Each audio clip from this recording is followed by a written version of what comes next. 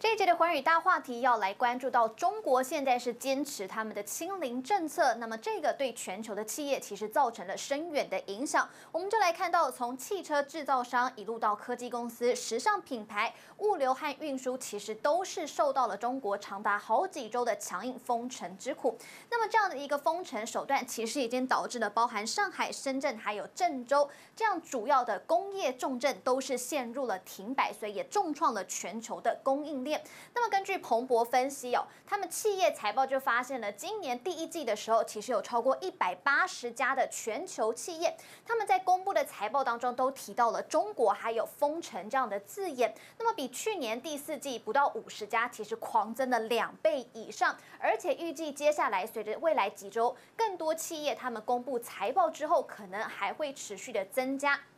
那我们就来看到，以汽车制造业为例，全球最大的车厂丰田汽车，他们就表示了，由于中国封城的措施的影响，其实已经将五月的产能是由七十五万辆是降到了七十万辆，并且还说，因为上海封城，所以他们从五月十五号到五月二十一号要暂停部分日本生产线的营运。那么包含的本田汽车、福斯还有特斯拉，其实也都是面临类似的一个问题。但是更惨的是，来看到上海汽车。车销售行业协会十六号，他们就有公布了数据，封城是重创了汽车业经销商，全部都是歇业的，所以连锁反应就导致了整个四月份的时候，中国汽车市场的销量只剩下一百一十八万辆，所以年减和月减都达到了百分之四十七。那么上海四月份的新车销量更是直接挂零了，所以比病毒还要优先的清零，这个是史上第一次看到的。那么受到疫情的影响，其实也重新掀起了外商，他们现在想要把工厂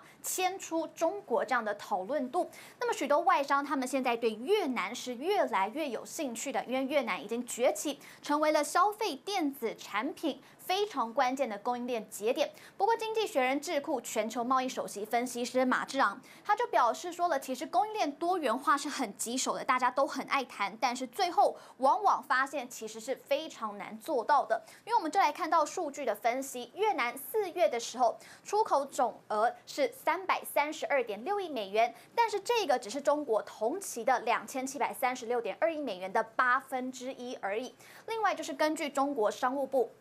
今年的前四个月，也就是一月到四月的时候，对中国的直接投资较前一年是增加了百分之二十六点一，到了七百四十四亿美元。但是相较之下，其实越南呢，他们这种外国直接投资是下降了百分之五十六到三十七亿美元。经济学家就指出了，从中国的角度来看的话，其实制造业他们撤离是不足以真正的改变中国在他们整体供应链的角色，所以中国依旧是亚太地区的电子。网络的枢纽。那么，财经网站 CNBC 也报道了，中国到现在其实他们还是握有全球供应链的底牌。因此，如果只是部分的工厂他们要迁出的话，是完全不影响大局。以上这这一节的寰宇大话题，再把时间交还给主播，